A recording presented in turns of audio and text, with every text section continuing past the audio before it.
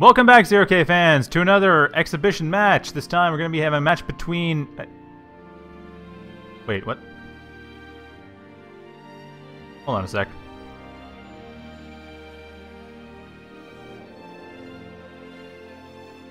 Okay, there we go. Sorry, my some my player list got weird. Anyway, match between ikinz and the Sponge on Deadlands. So let us begin. So ikinz is starting on the bottom left corner of the map. He is playing Shieldbot, while Sponge also playing Shieldbots. And both players very quickly, actually Sponge getting very early Metal Extractor compared to ikinz, who's actually not focusing on, oh, getting Commander Junior, interesting choice.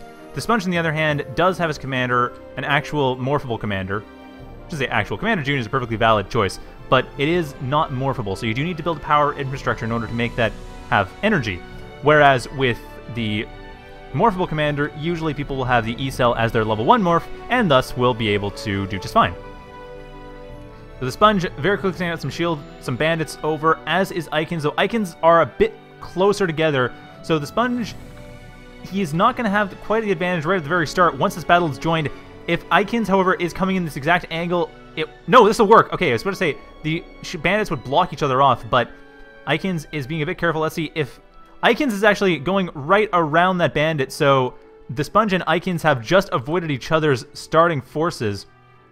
The Sponge choosing to go over the hills while ikinz instead going down around the side here. So ikinz will be meeting up with one of the bandits and should be able to get rid of it, actually. One bandit on two, and let's see. No, it's only one on one, and there goes the second bandit, but ikinz not able to finish off the Sponge's bandit, and the Sponge retreating, pincering in these bandits, and that should... No, that's not going to do it. The Sponge is continuing to move forward. He is not going for that, and ikinz trying to harass with this, but the Sponge focusing entirely on his main base, getting some power infrastructure to build up from there, and using that to push these metal extractors just a bit harder than they would be otherwise. Just to overdrive them. And ikinz, on the other hand, he is not... He looks like he is trying to focus... Or, actually, he's not focusing on expanding either. Both players are setting up military. They are not focusing on expansion at all. So this is going to be apparently a very economy light game. Very military focused, very light on expansion, though I imagine once we get to about five minutes in that we will start to see expansion as the players get a bit more confident in their ability to defend their territory. But Deadlands is a map that, if you can get the center right here, these are three metal extractors here. Not the strongest metal extractors, only three metal per. Oh, but ikinz is going for a bit of harassment, not able to do any damage, unfortunately. Just a slight amount of damage. He got rid of... No, these are both ikinz bandits. Anyways, I was saying, this middle section here, there's only three metal worth, but it's pretty easy to defend because of the hill. And if you can hold that and hold these expansion tiers, that's 12 metal total, that's where you want to focus on. But of course, it's kind of hard to get to that since that is the center of the map. And here comes a thug with a bunch of bandits for ikinz, and because the Sponge's forces were kind of spread out, it's working out very nicely for ikinz. He is able to get rid of half of the bandits that were up there, but unfortunately, they are having to crowd under the shield, which means they can get in each other's way. They can't easily, they cannot shoot through each other, so they have to make sure that they're in a nice line before engaging. But unfortunately, that's rather difficult to do. However, the shield is working out nicely for them, and that Thug shield doing a great job. The Sponge's bandits going under the Thug shield, but that's not quite enough. Unfortunately, ikinz' bandits are not able to support that Thug right now, and there it goes. Now with the support, able to get rid of all these bandits coming in. That Thug is doing a wonderful job with protection. Nice micromanagement by ikinz, making sure that his bandits were under that Thug. However, not really building anything yet. He's focusing a bit more on expansion, but he hasn't actually focused too heavily on it. He's... Okay, now building more Thugs. He actually does have a weaker economy, mind you. The Sponge, his overdrive has now started to pay off. He has three metal coming out of all of the... Or a little over three metal coming out of all these extractors, which are a base of two. And he is starting to expand towards the center as well. If he gets the center, very center, like I said, one base to start, but you can overdrive them. Pretty easy to overdrive all three at once, and it is a defensible area, so once you get to that point, overdrive with windmills, with laser turrets, a bit risky, but if you can hold it off, you can hold off any enemies coming in, it's powerful. And it looks like bandits are all the sponges producing at this point. He is getting some outlaws as well. His thugs will be coming in later, but that won't be for another minute or so at this rate. yeah, it's 8 seconds per bandit, and the outlaw is going to be another... Oops, I don't want to do it all. The outlaw is going to be another 25 seconds. Yeah, it's going to be a little while yet. About a minute, minute and a half before he starts to get thugs out. He does have an outlaw, which is handy. And he does have a convict, which is a shield, but it's not a particularly strong shield compared to thugs. Shield strength of 900 compared to a shield strength of 1250. So not that much weaker, but still, thugs are also damage. And another thug coming in to help out, adding his shield and also providing just that much more cover for the bandits. So once again, ikinz moving in, and with an advantageous position. Unfortunately, Bandit's going out of the shields. That is no good. But still, as best he can, keeping them under the shields, and the Thugs have not been able to quite do much damage. They've been missing for the most part. But the Outlaw moving in, and the Outlaw does not care about shields. That shield tactic is starting to slow down, or gonna get slowed down a bit with the Outlaw coming in, slowing everything down. However, as you can see, ikinz although he doesn't have the metal for it quite yet, he does have twice the build power moving into the factory. Once he gets the metal for it, that will be extremely handy. While the Sponge actually does have the build power for it, but he's focusing entirely differently. He's focusing on a gunship switch, which is interesting. The Shieldbot anti-air, dedicated anti-air, the Vandal, is the toughest anti-air, but apparently the weakest for cost. So you take you would take about a dozen Vandals to be able to start being quite effective. However, they do have, like all anti-air, fairly decent range. And like I said, they are, I believe, the toughest for costs, what I understand. So it will be difficult to push in, but on the other hand, ikinz does have a disadvantage militarily. He's actually switching over a bit to economy. He's he does have some more troops coming in, and he does have a roach coming in. That roach will be able to take out a lot here, and the band is doing a nice job harassing. However, they are not going to be able to get past the laser turret here. One of them going down. And like I said, the Sponge has a lot of military. He has taken the center. He is holding it pretty well. And because he has the center, he can easily hold at least this side of the map. ikinz having a bit of a harder time holding his side, and he's not getting as much of a military going either. He does have a pretty decent military, but it's just...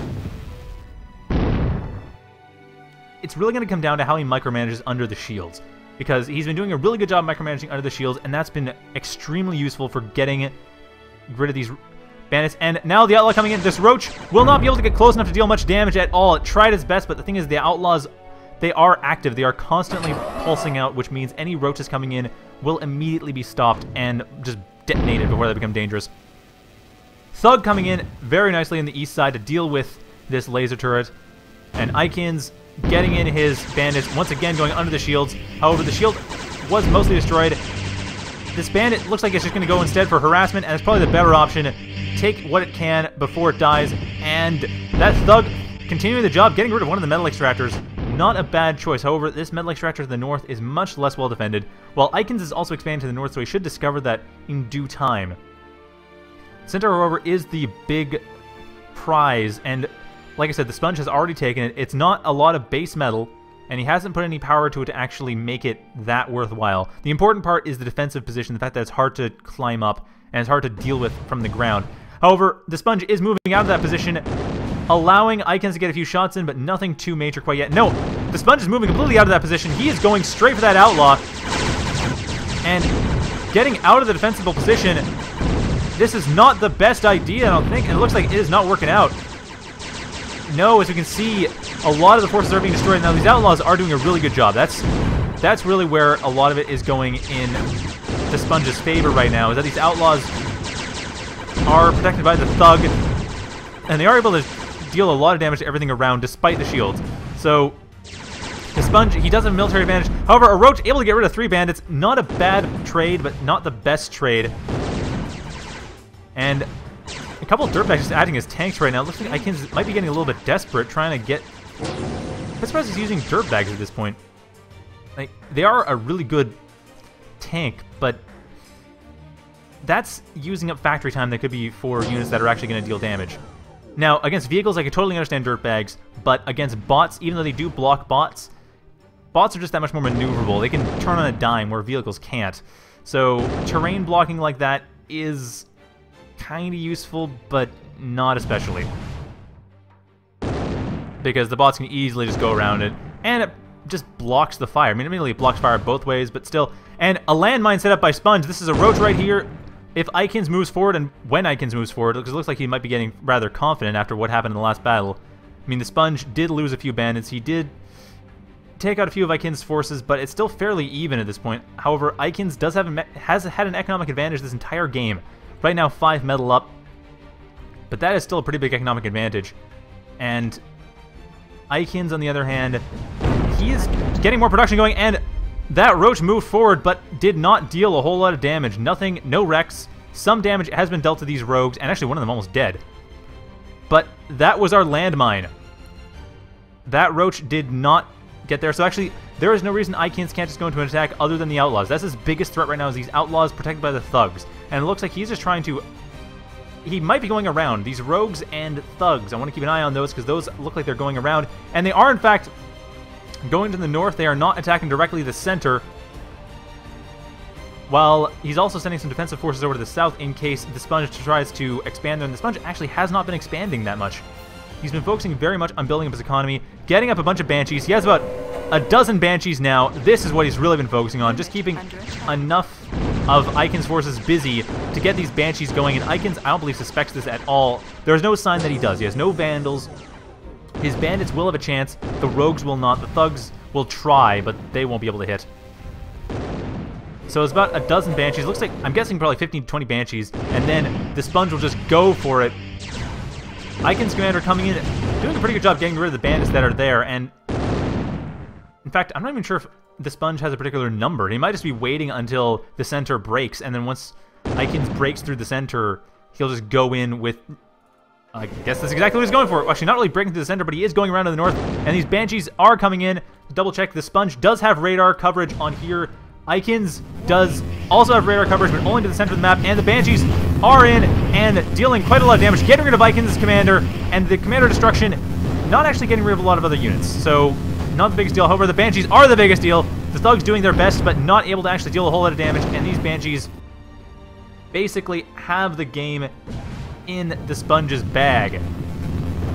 Now, at this point, I expect Vandals will be coming up. There we go. Vandals are being spammed out. ikinz, 16 metal going into each Vandal. He has two up right now, but those Banshees, there's a lot of damage they can deal with that. The Rogues taking a lot of the fire, though.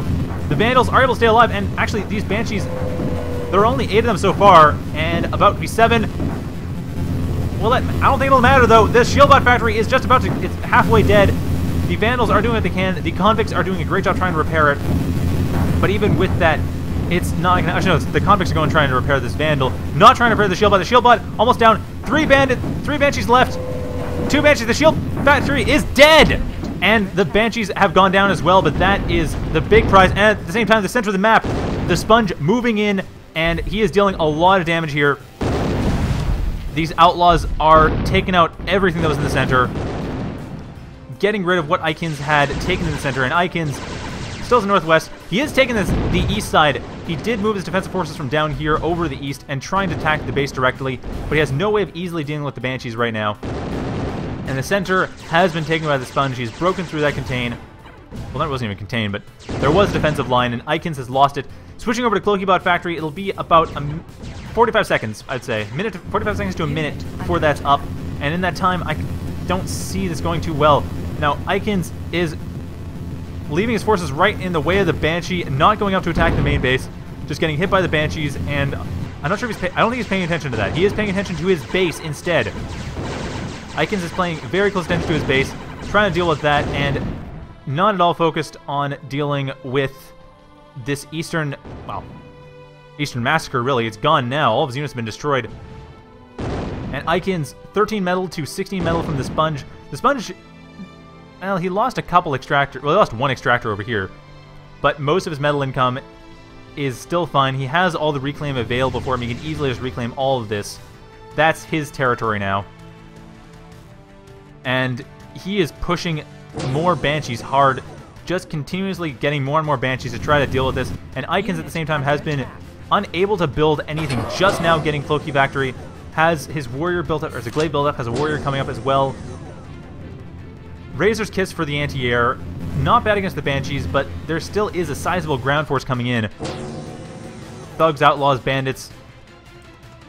Coming in with Banshee support. Looks like ikinz is going to have to deal with Well, probably be one final attack from the Sponge, and ikinz does have this harassment force. He might be going over to the east, and he is actually going to be found out. ikinz is getting up for Razor's Kiss as well, because he's about to be found out. The Sponge knows about this. He is sending his Banshees over, and that's all that's happening right now. There's nothing happening over to the south, but, oh, the northeast, or northwest rather. ikinz, not the, the Razor's Kiss will not be up in time, and he has no dedicated anti-air defenses. These Banshees are doing a wonderful job dealing with this. I'm not sure if ikinz is going to go out uh, and try to break out of this contain right now with the Warriors, because he is losing this Northwest expansion. He cannot deal with this. The Thugs are doing what they can, but they can't easily hit the Banshees. The Banshees just dodging all that fire. So that is not going to help out very well. Those Thugs are down, the Northwest expansion is down, and at this point it looks like a Roach has been spotted on radar from the looks of it. I, actually, no, it's been spotted on line of sight. ikinz has no radar right now, but he does have line of sight of that Roach. He knows it's there. He's trying to get rid of it with the Rogues and the Rockos. And there it goes, completely harmless. Warrior taking it out in time, but now ikinz has revealed himself to be using Cloakies. And Cloakies are going to have an easier time dealing with the Banshees. The Warriors have a much faster traveling projectile. They'll have an easier time hitting the Banshees as they're moving around. Not quite as effective as, say, Jethros or Vandals, but the Vandals are still in range, and the Warriors are I think the Warriors can hit air. Yep, they can, and as you can see, they're doing a pretty good job of it, too. Fast enough and rapid enough projectiles that they can just basically scour the entire sky. So it's going to be a bit easier for ikinz right now. Getting up a tick as well. Might be trying to get rid of these Outlaws. I don't see how that's going to work because the Outlaw Pulse, that just gets in the way of any ticks trying to deal with it. But he is going for it. Or going near it, at least. No, he's going for it! This is not going to work out too well. However, it works out well enough. One of the Outlaws actually being stunned. And there it goes. He is going for the attack with the Warriors and the Rockos. The stunned Outlaw going down. Thugs as well will be going down very shortly. And... Actually, they're pulling back. Like I said, the terrain is kind of favorable for retreat at that point. He is... I should say, the Sponge does have the high ground at this point. And ikinz, unfortunately, losing some of his momentum, losing both of his warriors too, and the Rock is doing what they can. The Outlaws have been destroyed, but more Outlaws will be forthcoming. Actually, not that soon. However, the Sponge has taken advantage of his greatly advantageous position, taking the entire center of the map. He has 30 metal compared to ikinz 7. Taking this northwest side as well, and I'd say that is game. A Roach coming in as well to deal with what it can, getting rid of a few Rockos, but it needs to get... Well, at this point, the Sponge just needs to go for the kill. He has a huge advantage right now. The entire center economy is his. ikinz might try to go for one big push to try to get rid of this hoping that the Sponge has overextended himself. And I think that the Sponge is producing the way he is now, that he is not overextending. He is pushing his... Actually, he still is flooding metal a bit. And he doesn't have enough energy to use all of that metal. So there is a slight window that ikinz has. But ikinz still has too little metal. That is one thing. ikinz still does not have a whole lot of metal income. Reclaiming to get what he can, but he still only has enough metal income to power a single factory. And at this point, it looks like this is it. The Sponge going for the kill. All the Warriors are dead. The Rockos are going down right afterwards, and that is not the kill? The Sponge not quite going for the kill at that point. Interesting. Granted, there are still Vandals to deal with, but the Warriors are the biggest threat. Oh, Jethros as well have been built. But the Warriors are kind of the biggest plausible threat to both air and ground. Looks like... and no, in case you're wondering, people, People in the chat commenting, this game looks familiar. This is the rerun season? No, it's just Deadlands. Deadlands just does this. You just get maps like, you just get games like this where a bunch of stuff, once someone gets the center, it just goes. But I am a bit surprised that ikinz has been able to stay alive this long, that the Sponge has not just pushed, because I think the Sponge could take it if he pushes right now. He has probably enough Banshees alone to take it from pushing, but he has not decided to go for that. Surprisingly enough, he is continuing to just go in and break up the forces that ikinz has built up, but not actually going further. Probably afraid of the Vandals. I mean, last time he sent the Banshees in, they did get wrecked. They got completely wrecked. Though they did destroy the shield by factoring in the process, that was definitely worth it. And Jethros are dealing what they can against the Banshees. The Warriors, like I said, however, are the more plausible threat right now. Because those Jethros will not last too long, especially since they decloak when attacking. And none of the Banshees have gone down. Now, the Razor's Kiss is definitely a plausible threat. Which is why I'm a bit surprised the shield bots aren't coming in with the Banshees, that ikinz isn't being hit with a two-pronged attack right now by the Sponge. The Sponge is starting to move in. He is getting himself in a position to deal with this, getting more and more of his units, and he is he is going for the kill now. He's got to be going for the kill now. But still being cautious, wants to make sure he doesn't get into the way of the warriors. Because that warrior will get rid of his bandits, no problem. And the banshees are still up here. But the bandits, the bandits do not want to get too close to that warrior, and for good reason. More Razor's Kisses coming up, and is there anything else? I'm a bit curious if the sponge is going to go for something completely different. Either a Black Dawn or maybe a Crow or a Tac Nuke Silo. Probably not a Silencer. That's not likely to happen. Maybe a Tac Nuke Silo. Nope, just going straight for the Banshees. Not even worrying about the Razor's Kiss. And it looks like 12 Banshees still alive. And this Cloakybot factory gone down. That's another factory completely gone. A tick able to hit the Banshees in the air, close enough to the ground to actually deal the damage needed to be done.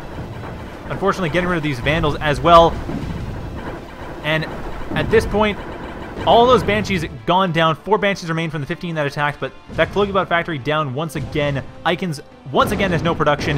The Sponge, this is his window. He does not have to deal with anything but anti-air defenses and a couple laser towers, so that's not a big deal right now for him. He has so many thugs and outlaws, it really doesn't matter.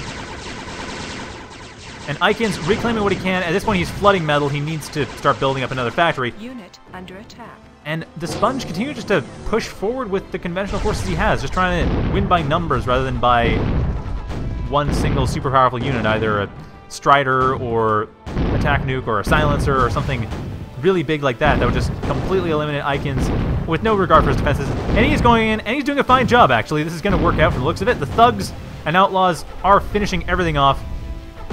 We're trying to do what we can. We're trying to get under the shields, but the thing is with shields, with a lot of shield shield bots, they overlap each other in such a way that you can't easily get under them without destroying them. And the Banshees coming in one more time, and the Razor's Kiss is now open. However, it is dealing a lot of damage. There's only five Banshees, four Banshees left now. And another three coming in to reinforce as the second Razor's Kiss has gone down. And this is game. ikinz trying to build up a stinger to deal with everything, but that will not do it. And the Sponge has won the game. That is game. ikinz throws in the towel. So hope you enjoyed that, and I will have another match for you shortly, which is going to be a match on Quicksilver between Saktoth and Banana Eye. And given what happened with Banana Eye last time we saw with Google Frog, I am very curious to see how it's going to pan out this time, so stay tuned.